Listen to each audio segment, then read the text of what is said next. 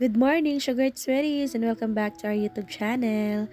So, today's video, ipapakita ko lang sa inyo, Sugar Sweaties, no, ang bago nating salang na chiffon cake. Yan, so maraming chiffon cake ito na iba't iba ang sizes. So, bali pangatlong salang ko na to, yung nasalang kong dalawang cake kanina is na hindi ko napakita sa inyo, no, since uh, mga rush order yung ating gawang order kanina. So, bali ngayon lang ako nagka, nagka-film at ipapakita ko sa inyo ang uh, bago nating chiffon cake para bukas na mga orders. So, ito, tinetesting lang natin ang ating cake kung naluto na. So, sa mga beginners, no, sugar sweaties, kung magtitesting kayo ng inyong cake, so make sure na wala nang uh, mabasang cake butter dyan sa ating toothpick. So, pag ganyan, malinis na, so meaning okay na. So, pwede na natin tong kunin sa ating oven.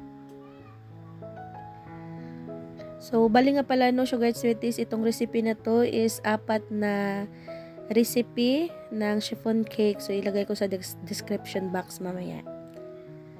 Alright, so ito na yung ating finished product. So, bali itong rectangle na sizes na ito ay nasa 8 by 9 ang size. At ito namang maliit is 6 by 3. At ito namang ibang sizes is 8 by 3.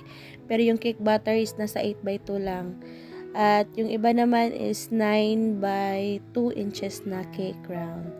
So, see, pag pinipress nyo yan, yan, pag hindi na nakalubog yung cake, so meaning okay na yan. Yan, so, napaka-perfect yung ating cake ngayon, no, sugar sweeties. Yan, so, lagay ko sa description box yung ating ingredients.